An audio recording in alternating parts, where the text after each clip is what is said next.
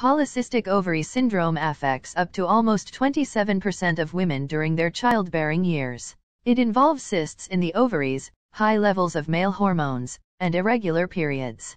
Doctors don't know exactly what causes PCOS. They believe it stems from factors such as genes, insulin resistance, and higher levels of inflammation in the body. PCOS can disrupt the menstrual cycle leading to fewer periods. Acne, hair growth, weight gain, and dark skin patches are other symptoms of the condition. Hormone imbalances can affect a woman's health in many ways.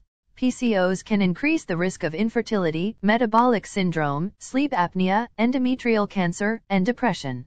Doctors diagnose PCOS if women have at least two of three main symptoms high androgen levels, irregular periods, and cysts in the ovaries. A pelvic exam, blood tests, and ultrasound can confirm the diagnosis.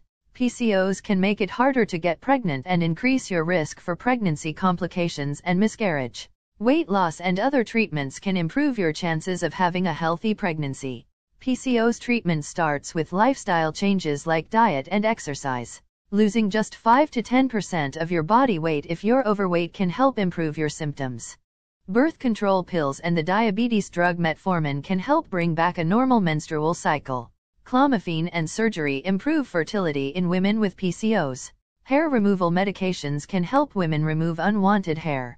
See your doctor if your body has skipped periods, or you have other PCOS symptoms like hair growth on your face or body. Also see a doctor if you've been trying to get pregnant for 12 months or more without success. Thanks for watching don't forget to subscribe.